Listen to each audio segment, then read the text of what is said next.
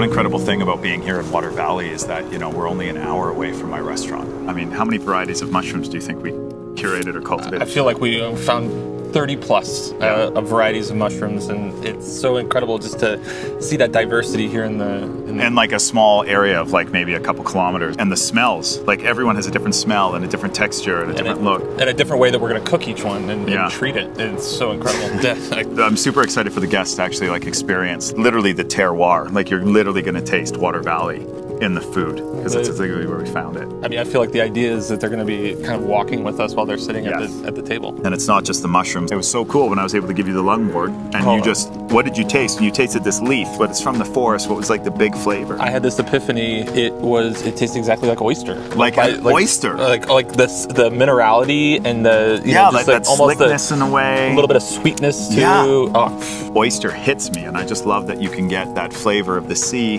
super inland in a forest here in Water Valley. The diversity, even this late in the season, is is unparalleled, and it's literally like an hour out. It's that's crazy. it's staggering. Yeah. Staggering. As a chef, that's pretty.